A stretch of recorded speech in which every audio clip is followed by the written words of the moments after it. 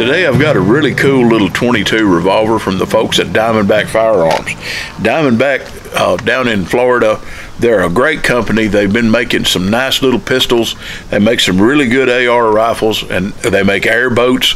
Uh, Jeff and I went down there for a couple of days here a few years ago and really had a good time with the folks down there, touring the factory and riding around on the airboat and all that. It's just a great bunch of folks, and they make a bunch of neat stuff. They uh, run thoroughly modern plant. They got all kind of CNC machines and running everything with computers, and it's it's just really amazing operation to see. And I understand that they've expanded quite a bit since last time we were down there. Anyway, they're a great bunch of folks. They're friends of ours. They're good Southern boys, and they look to make great products at great prices that people can afford. This little 22 revolver is exemplary of that. It's called the Sidekick 22, and it is unique in several different ways on today's market. At first glance, the Diamondback Sidekick looks like your basic 22 small frame revolver.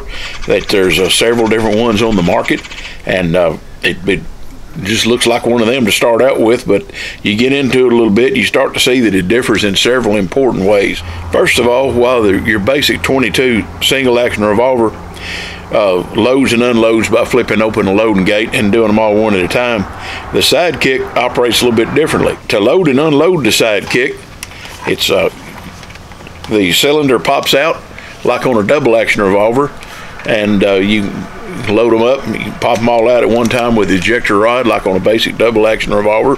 So it uh, looks like a single action, but it loads like a double action. This makes loading and unloading much faster than on a single action revolver. And this is also not a single action revolver. The sidekick is a double action revolver that just happens to look like a single action. You can uh, it can fire just by pulling the trigger as a double action or you can cock the hammer and fire it like your basic single action revolver. It's a really cool deal like that. The first look I got at a sidekick was at a writers event back in October of 2021 at uh, the Texas Gun Experience in Grapevine, Texas. Diamondback had one of these, and it just immediately tripped my trigger when I looked at it and uh, pulled out the pin, swung the cylinder open. It really took me back the very first gun I ever owned was uh, one of the old Harrington and Richardson Model 929 nine shot revolvers. They didn't really look like a single action revolver. They looked uh, they looked kind of as a hybrid amalgam of a single and a double action, but it was a really cool gun because it was the first gun I ever got and it loaded in the same manner and it was a double action revolver also. That old H&R 929 was a gun that really meant a lot to me because it was the first gun I ever owned of any kind. When I was about eight years old, my dad took me to a sheriff's auction in the county seat there in Clarksville, Tennessee. It's decent sized county uh, northwest of Nashville. And uh, we grew up on the outskirts of that town out in the county. But uh, Dad took me to the county seat, and uh, they was having a sheriff's auction on the square that day.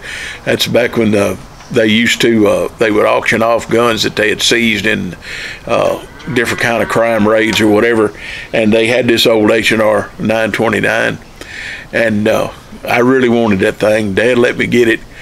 Uh, I remember it cost seven dollars at the auction. I, I bid seven dollars for it, which is nothing, but that was a that was a princely sum for an eight-year-old kid, and uh, to show you how times have changed back in the day. Of course, my dad was with me, but I walked up to the sheriff's deputy and handed him seven dollars and walked away with my prize. And that was back in the good old days, back before you had to uh, take a liver biopsy or something like that before you could buy a gun. Anyway, it really filled my heart with nostalgia to see this because it operates in the same manner. And it really threw my mind back to that old 929. I wish I knew whatever happened to that. It's uh, I don't have that gun anymore, but uh, it put a love in me for this type of, of gun that I've never lost. I've now owned a bunch of H&Rs, including a 929 that was just like the one I had when I was a little kid.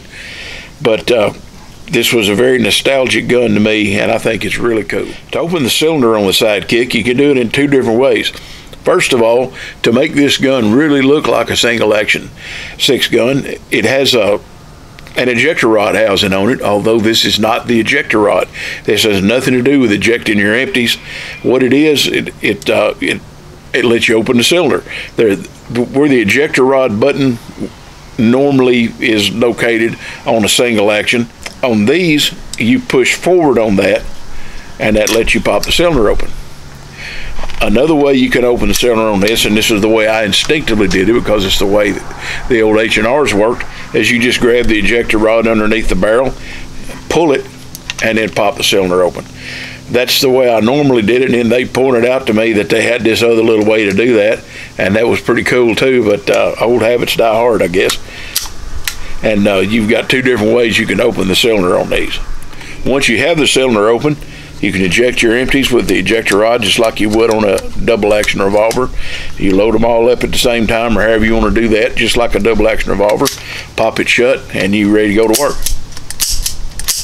Another really cool thing about these is that it is a 22 long rifle, but it also has an extra cylinder and crane assembly for a 22 Magnum, and it's really easy to swap these things out on the fly. There's a little detent here in the end of the frame that you take a small punch or a small Allen wrench or something like that. You depress that. You pull the cylinder out with the crane assembly and everything. You pop your other one in there. The only thing about these, when you push in on the detent, there's a spring and plunger in there. When you pull the cylinder out, you want to keep a finger or something over the end of that hole so that the uh, plunger doesn't go flying off into orbit somewhere Trust me, I know about this. Once you change the cylinders for the first time and get the hang of how easy it is to do, it literally only takes seconds to swap cylinder assemblies on this thing, and that gives you the ability to go from 22 long rifle to 22 Magnum safely, uh, which lets you with the 22 long rifle, you know, you can do anything you do with 22. You can kill small game. Uh, you can have a lot of fun plinking inexpensively. You pop a 22 Magnum in there, and you're good to go for uh, medium-sized game. They're great. 22 Magnum's great for coyotes and such like that. If you have coyotes around your place, as we do, and the 22 Magnum is also a decent little self-defense cartridge. I often recommend 22 Magnum for people who are recoil sensitive or new shooters or uh, for whatever reason they need to have something that'll work but has less recoil. It works great for that. And with the nine round cylinder capacity on this in either 22 or 22 Magnum, you get 50% more firepower than you do in your standard six gun. The main frame and grip frame of the Sidekick are made from zinc, which is a lightweight, easy to machine material that uh, helps to contribute to the low manufacturing cost of the Sidekick. The barrel and the cylinder and the hammer and trigger and those smaller parts are made from steel. The uh, steel parts are blued. The zinc parts are black Cerakoted. The matte blue finish on the steel parts and the uh, Cerakoted zinc on the frame blend together to make a really nice dull black finish. It's a nicely finished gun. It looks good. The barrel is four and a half inches, has the uh, Sidekick logo engraved into the side of it, and it's just the right barrel length. Uh, a lot of six gun shooters prefer the four and a half inch barrel, four and five eighths, four and three quarter, depending on who the manufacturer was. But the uh, this barrel length is just right to me for this type of gun. Thanks to the zinc frame components, the Sidekick weighs about eight ounces less than your standard uh, 22 single action revolver of this similar configuration. It, it handles very well and it you carry it all day and not even know it's there. The grips are glass filled nylon, fully checkered with a Diamondback logo molded into them.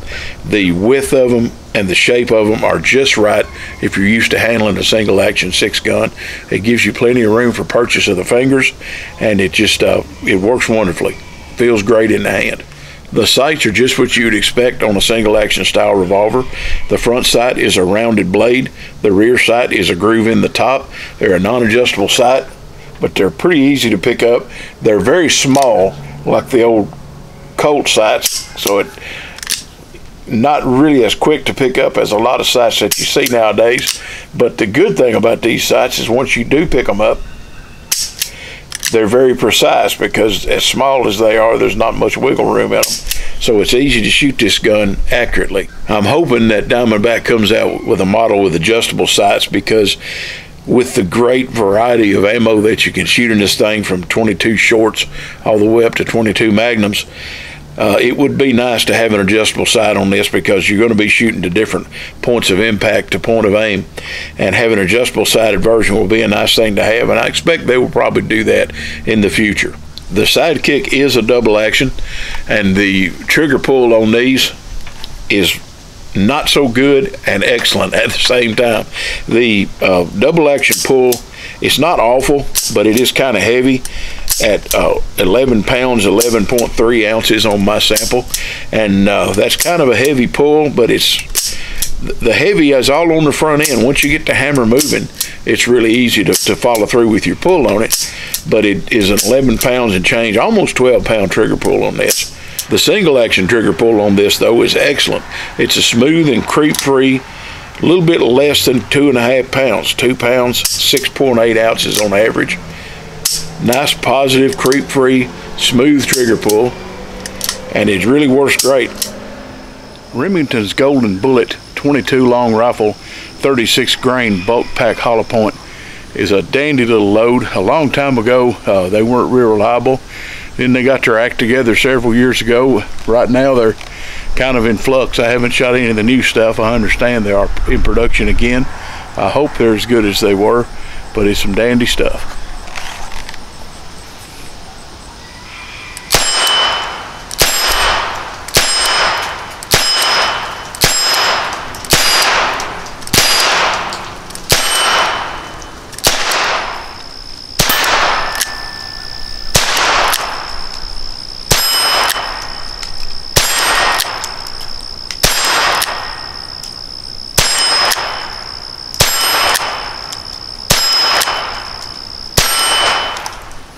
One of my favorite 22 long rifle loads is CCI's 40 grain lead round nose target. It's just a wonderful standard velocity load, shoots very easy, and it's uh, very accurate. It's just one of my favorites.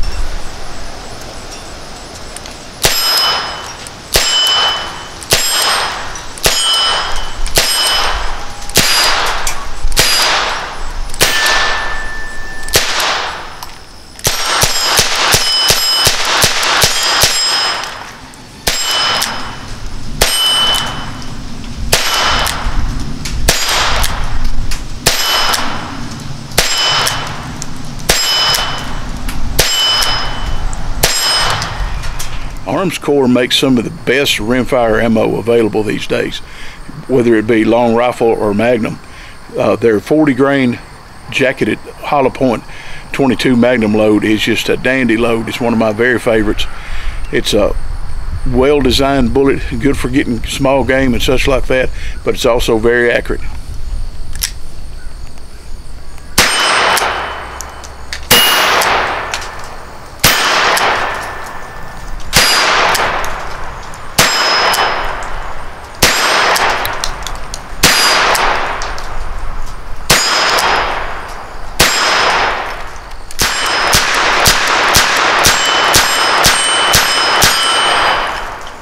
The MSRP of the Diamondback Sidekick as of this date is only $320 US and uh, that is quite a value for what you get. You get a quality made gun, made in the USA, that is like nothing that's on the market today. It looks like a single action, it is a double action. You get both cylinders, 22 long rifle cylinder and 22 magnum cylinder. Uh, it's it's very versatile. It's accurate. It shoots wonderfully and it's a whole lot of gun for $320.